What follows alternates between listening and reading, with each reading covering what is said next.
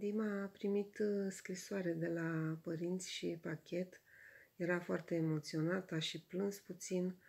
Um, să bucura că mama lui a scris că tatăl este bine, știți că a avut niște probleme de sănătate, ne mai spune el uh, câte ceva despre asta și mama i-a transmis că este bine și să nu-și mai facă atâtea griji pentru ei, să se concentreze pe relația lui și Dima spunea că uh, el uh, vorbea cu mama la telefon de trei ori pe zi cel puțin și cu tatălui măcar o dată și acum este dor și greu în competiție pentru că nu poate ține o legătură așa strânsă cu ei.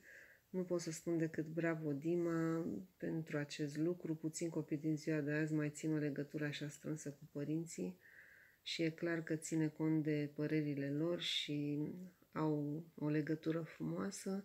Mai spunea Dima că și susținătorii lui sunt la fel ca el, atenți, urmăresc toate gesturile și tot ce spune și um, le mulțumește pentru acest lucru și că el vrea să aibă o legătură strânsă cu uh, susținătorii.